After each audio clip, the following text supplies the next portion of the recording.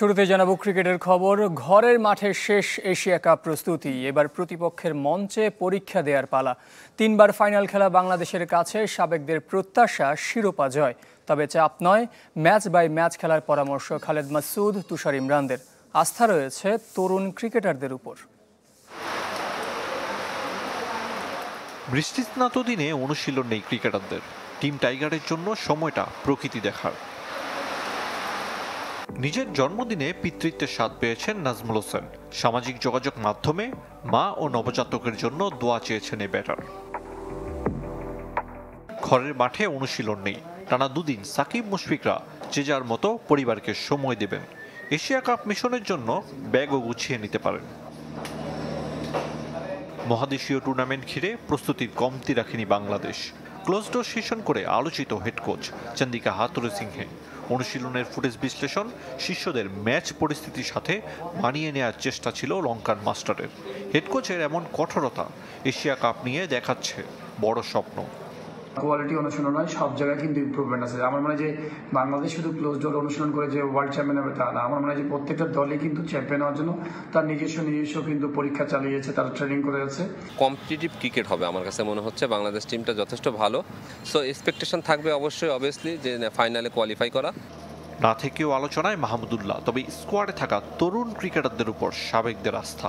আফিফ হোসেন শেখ মেহেদি শামীম পাটোয়ারির কাছে যাওয়া দায়িত্বশীল ক্রিকেট ইয়াং প্লেয়াররা যারা টিমের সুযোগ পেয়েছেন তাদের জন্য ভালো অপরচুনিটি তারা যদি কাজে লাগাতে পারেন সিনিয়র মুশফিক আছে আমার সাকিব আছে একসাথে যদি সুন্দরভাবে একটা সুন্দর কম্বাইন যদি পারফরমেন্স আছে তাহলে কিন্তু বাংলাদেশ টিম ভালো করবে। এশিয়া কাপে তিনবার ফাইনাল খেলা বাংলাদেশ কখনো জিতেনি শিরোপা। তামিম থেকে সাকিব নেতৃত্ব বদল। এবার কি তবে? ভাগ্য বদলাবে? সামনে থেকে লিড করার যে দায়িত্বটা সাকিব পনেরো বিশ বছর যাবৎ ইন্টারন্যাশনাল কেরিয়ার সে জিনিসটা সে ভালোভাবে করে যাচ্ছে পারফর্মার আমি চাই যে রেজাল্ট আসলে, এবং অন্যান্য সবাই কিন্তু এই রেজাল্টই চাই গেল কদেই নীরব থাকলেও এশিয়া কাপ নিয়ে ভাবনার কথা জানাবে Bangladesh. Ariful Islam, channel twenty four, Dhaka. বাংলাদেশের শেষ হলেও এশিয়া কাপের প্রস্তুতিতে ঘাম ঝরাচ্ছে ভারত ও নেপাল, তবে এরই মাঝে বিসিসিআইয়ের রোশানলে বিরাট কোহলি। বুধবার নিজের ইয়ো টেস্টের ফল সামাজিক যোগাযোগ মাধ্যমে প্রকাশ করেছিলেন কিং কোহলি, যা ক্রিকেটারদের আচরণবিধির লঙ্ঘনের পর্যায়ে পড়ে বলে সতর্ক করে দিয়েছে বিসিসিআই। অন্যরাও যেন একই ভুল না করে সেই নির্দেশনাও দিয়েছে ভারতীয় ক্রিকেট বোর্ড। এদিকে বেঙ্গালুরুতে বৃহস্পতিবার অনুশীলন করেছে টিম ইন্ডিয়া, তবে এখনও যোগ দেননি দলের তারকা পেসার জসপ্রীত বুমরাহ ও তিলক ভার্মার মতো ক্রিকেটাররা আর করাচিতে অনুশীলন করেছে নেপাল। এখনও দলটিতে যোগ দেননি তারকা স্পিনার সন্দীপ লামিছানে।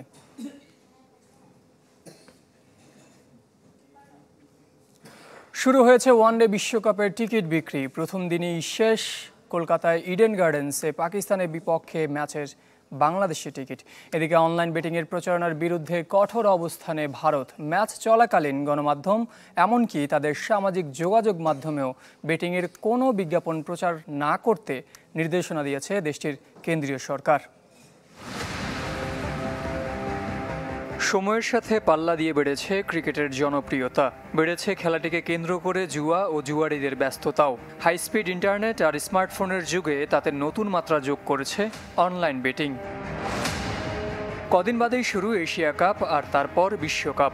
ক্রিকেটের দুই বড় টুর্নামেন্টকে সামনে রেখে এবার অনলাইন বেটিং প্রতিরোধে মাঠে নেমেছে ভারত। এশিয়া কাপ ও বিশ্বকাপের সময় টেলিভিশন ও অন্যান্য গণমাধ্যমে অনলাইন বেটিংয়ের বিজ্ঞাপন ও এর প্রমোশনাল কন্টেন্ট প্রচারে সতর্কতা জারি করেছে দেশটির কেন্দ্রীয় সরকার। শুক্রবার ভারতের তথ্য ও প্রচার মন্ত্রণালয় থেকে পাঠানো এই সতর্কবার্তায় বলা হয়, ম্যাচ চলাকালীন গণমাধ্যম, এমনকি তাদের সামাজিক যোগাযোগ মাধ্যমেও অনলাইন বেটিংয়ের কোনো বিজ্ঞাপন প্রচার করা যাবে না। অন্যথায় আইনগত পদক্ষেপ নেবে প্রশাসন। মূলত এসিসি ও আইসিসির দুই মেগা ইভেন্টের সময়ে অনলাইন বেটিংয়ের প্রচারণায় ব্যবহার করা হতে পারে বড় অঙ্কের কালো টাকা, যার প্রভাব পড়তে পারে দেশটির অর্থনীতিতে। এমন আশঙ্কায় এই পদক্ষেপ নিচ্ছে ভারত। যদিও ভারতের বিদ্যমান আইনে জুয়া কিংবা বেটিংয়ের সাথে জড়িতদের মাত্র দুইশো রুপি জরিমানা ও সর্বোচ্চ তিন মাসের জেলের বিধান রয়েছে। এদিকে শুক্রবার থেকে শুরু হয়েছে বিশ্বকাপের টিকিট বিক্রি। চাহিদার তুঙ্গে বাংলাদেশের ম্যাচ। কয়েক ঘণ্টার মধ্যেই শেষ কলকাতায় বাংলাদেশ পাকিস্তান ম্যাচের টিকিট। আগ্রহীদের বেগ পেতে হচ্ছে শ্রীলঙ্কা ও দক্ষিণ আফ্রিকার বিপক্ষে টাইগারদের ম্যাচের টিকিট নিয়েও। বিশেষজ্ঞরা ব্যস্ত বিশ্বকাপের ভবিষ্যৎবাণী নিয়ে। সাবেক প্রোটিয়া গ্রেট জ্যাক ক্যালিসের মতে বিরাট কোহলি কিংবা বাবর আজম নন, ভারত আসরের সর্বোচ্চ রানের মালিক হওয়ার দৌড়ে এগিয়ে জর্জ বাটলার, আর চ্যাম্পিয়ন রেসে তার দল ইংল্যান্ডকে এগিয়ে রাখছেন Kallis. Sagar, channel twenty Taijul ইসলামকে এশিয়া কাপের স্কোয়াডে না রাখার প্রতিবাদে আবারও মানববন্ধন হয়েছে তার নিজ জেলা নাটোরে। দাবি উঠেছে বিশ্বকাপ দলে রাখার। দুপুরে বৃষ্টি উপেক্ষা করে নাটোর প্রেস ক্লাবের সামনে মানববন্ধনে অংশ নেন জেলার সাবেক ক্রিকেটার সহ বিভিন্ন স্তরের মানুষ। তাইজুল সমর্থকদের দাবি ভালো পারফরমেন্সের পরও এশিয়া কাপে রাখা হয়নি এই স্পিনারকে। তাই আসন্ন ওয়ানডে বিশ্বকাপের দলে তাকে রাখার দাবি জানানো হয় মানববন্ধন থেকে। তাইজুলকে আবার বঞ্চিত করা হলে আগামীতে বড় আন্দোলনের হুঁশিয়ারি দিয়েছেন সমর্থকরা।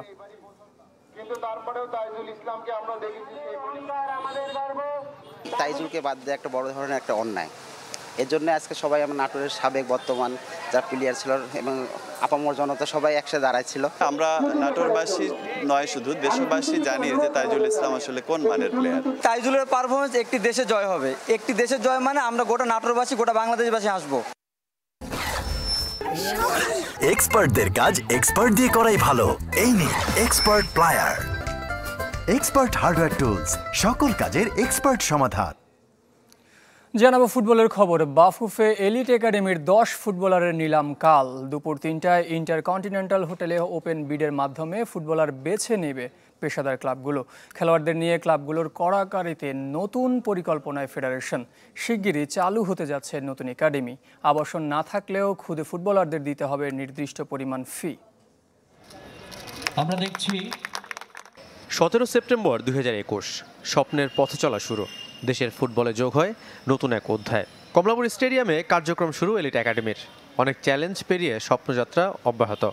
দুবছর এখনও হয়নি, তবে সুফল মিলতে শুরু করেছে। ফুটবলারদের নিয়ে পেশাদার ক্লাবগুলোর কারাকারি।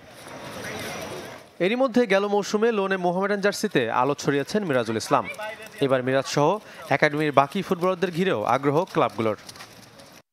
তাই চলতি ট্রান্সফার উইন্ডোতে প্রথমবার নিলামে উঠছেন দশ ফুটবলার। এ ক্যাটাগরিতে ছয়জন যাদের ভিত্তিমূল্য পাঁচ লাখ টাকা আর বি ক্যাটাগরিতে চার ফুটবলার তাদের এক লাখ করে কম। যদিও এই দশ জনের বাইরে অন্য ফুটবলারদের নিয়েও ক্লাবগুলোর আগ্রহ ছিল তবে বয়সের কারণে সাড়া দেয়নি ফেডারেশন।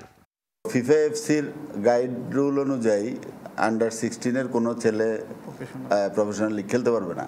তখন কিন্তু আমাদের এই ছয়জন প্লেয়ারকে আমরা অফ করে দিতে হয়েছে। আমাদের একটা ছেলে যদি ইউরোপ এশিয়া বা বাংলাদেশের একটা ভালো ক্লাবে খেলতে পারে তাহলে এটাই কিন্তু আমাদের পাওয়া। আমরা তো এই ছেলের কাছ থেকে কোনো আর্থিক সুবিধা চাচ্ছি না। যে এলিট একাডেমি একসময় বন্ধের শঙ্কায় পড়েছিল তারই সাফল্যে নতুন একাডেমির পরিকল্পনায় ফেডারেশন তবে এবার অনাবাসিক। কার্যক্রম শুরু হতে পারে এবছরের শেষের দিকে। বাফুফে সংলগ্ন টার্ফে সাত থেকে দশ বছর বয়সীদের দেওয়া হবে ফুটবলীয় দীক্ষা। আপাতত সুযোগ থাকছে না মেয়েদের। ফুটবলের প্রতি আগ্রহ থাকুক মানুষের এবং প্লেয়ার উঠে আসুক। সেজন্য আমরা এটা নন নন প্রফিটেবল চিন্তা করে আমরা করব যেন আমাদের আবার নিজেদের থেকে টাকা দিতে না হয়। ট্রেনিং দেওয়ার পর যদি আমরা পাই ভালো কোনো ছেলে পাই তাহলে সেখান থেকে আমরা পরবর্তীতে আমাদের এই একাডেমিতে আমরা ইনক্লুড করব। ঢাকার বিভিন্ন স্থানে একাডেমির কার্যক্রম বিস্তৃত করার পরিকল্পনা ফুটবল ফেডারেশনের। সাফাত মিদুল চ্যানেল টোয়েন্টি ঢাকা। জানাব হকির খবর। নারীদের ফাইভ এ সাইড এশিয়া কাপে হারে শুরু হলো বাংলাদেশের মিশন ইন্দোনেশিয়ার কাছে সাত চার গোলে হেরেছে লাল সবুজ নারীরা। ওমানের সালালায় চ্যালেঞ্জার পুলের ম্যাচে প্রথমার্ধে দুই এক গোলে পিছিয়ে পড়ে বাংলাদেশ। নিসা ইন্দিরা পাওলিনার গোলের বিপরীতে ব্যবধান কমান আইরিন রিয়া। ত্রিশ মিনিটের ম্যাচে দ্বিতীয়ার্ধের শুরুতে দারুণভাবে ঘুরে দাঁড়ায় বাংলাদেশ। অর্পিতা পালের জোড়া গোলে ম্যাচে আসে তিন তিন সমতা। পঁচিশ মিনিটে হ্যাট্রিক পূর্ণ করেন অর্পিতা। তখনও ম্যাচে চার চার সমতা। তবে শেষ পর্যন্ত নিসা আর পাওলিনার হ্যাট্রিকে জয় নিয়ে মাঠ ছাড়ে ইন্দোনেশিয়া। দল হারলেও ম্যাচ সেরা হয়েছেন অর্পিতা পাল। এই ম্যাচ দিয়ে প্রায় চার বছর পর আন্তর্জাতিক আসরে ফিরল বাংলাদেশের নারী হকি। শেষ করব কুল স্পোর্টস টোয়েন্টি ফোর এখনকার আয়োজন। খেলার সব আপডেট ও রিপোর্টগুলো দেখতে ভিজিট করুন Facebook dot com slash sports twenty four team এই পেজে। ধন্যবাদ, সাথে থাকার জন্য।